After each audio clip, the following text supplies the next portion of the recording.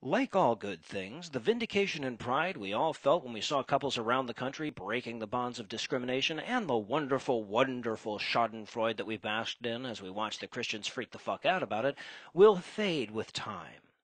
So you can either savor it for a few more blissful days before it's drowned back out by the relentless march of bigotry, or you can relive it forever with the Scathing Atheist collection of the best Christian Obergefell versus Hodges related meltdowns. Now that's what I call butthurt. It's tragic. Judicial tyranny. I'm saddened for our country. Our pastors will be a target. Misguided, immoral, unlawful, and unconstitutional. Everybody I've talked to, as far as Christians, are horrified they've stolen America from us. God is not pleased. That's right, Noah. This amazing collection will allow you to revisit their asinine ramblings for years to come.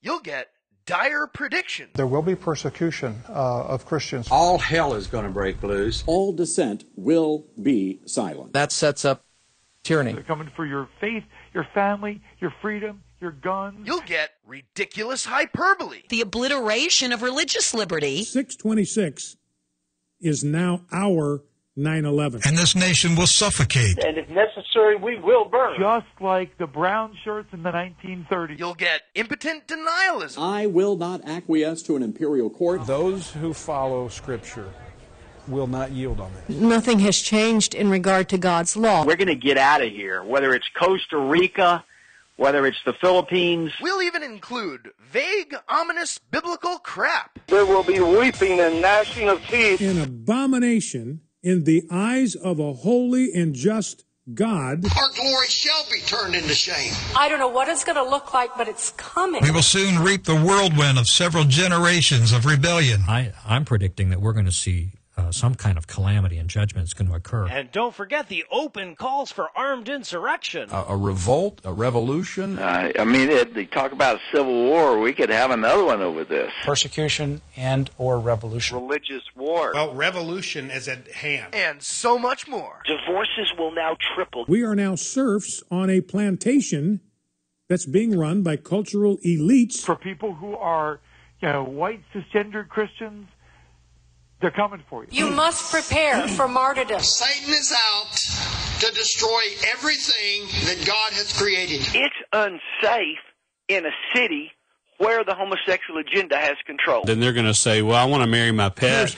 I want to have multiple marriages. Science proves living a homosexual lifestyle is devastating, medically and psychologically. Now, am I saying that the Supreme Court sent people to hell? I have no love.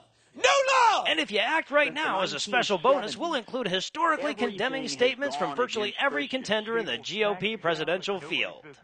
For three easy payments of $9.99 and two difficult ones of $300. And those of you that Now that's what I call butthurt to be yours. Act now so that you'll have it handy in 50 years when the Christians start pretending they were the ones pushing for gay rights the whole fucking time.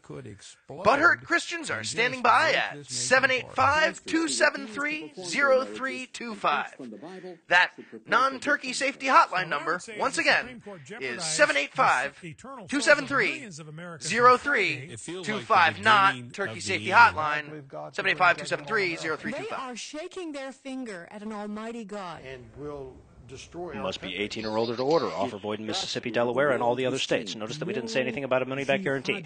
Please allow three to six decades for shipping. If the collection causes an erection that lasts more than four hours, contact a physician immediately. Now, that's what I call butthurt. is not a real thing that can actually be ordered, but you can still give us money if you like. Fuck everybody whose voice was featured on the segment except for Heath and me, especially Steve Anderson. Why anyone would choose to violate the definition of Scripture. Because the battle for traditional marriage is over, and the battle for religious freedom has begun.